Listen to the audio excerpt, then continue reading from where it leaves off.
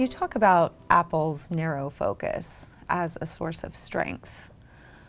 Why is that? In general, we tend to think about uh, companies who can stay focused as being more successful, often because they can be more innovative in the sense that they can make investments. They, they truly understand whether Apple wants to tell you that they are responding to customers. They do understand what customers do want, care about, how they interact with the technology, and the, the knowledge that they generate helps them fuel those innovations they can stay focused in the sense that their resources are directed towards a more narrowly defined set of opportunities. They can refine their product development, development processes, their marketing processes, their HR, finance, and accounting processes to match the kinds of things that they are good at and focusing on within the firm, as opposed to taking relatively generic approaches that you would have to if you're very broad and, and mm. invested in a number of different industries. Uh, so, so in general, firms can be more successful and and the products that come out of firms who are more focused tend to be more innovative. They tend to be more high quality. They tend to be more received well by, by the public, mm. is uh, typically what, what we see. There's issues around like the true breakthroughs, where the breakthroughs might need to come from firms who've got a little bit more breadth, who can kind of recombine broader knowledge to some extent.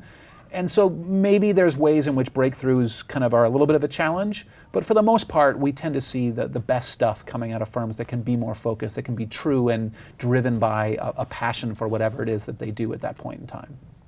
Of course, being focused and being narrowly defined creates risks for organizations mm-hmm. because it basically becomes comes down to having all your eggs in one basket, more or less, in the sense that as long as you're really good at it and as long as whatever it is that you're really good at stays relevant for the consumers uh, and, and for the market, you will continue to be successful.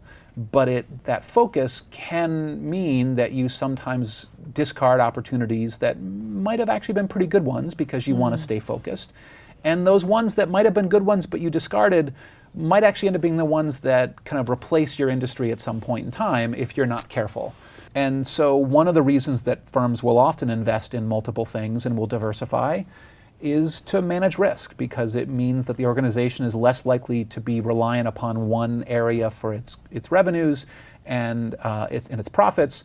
And so, if you're thinking about firm survival as kind of an outcome that you're, that you're managing, maybe not what shareholders fixate on as much, but certainly what managers and CEOs focus on a lot, then focusing too much can create real risks for the organization mm. at that point.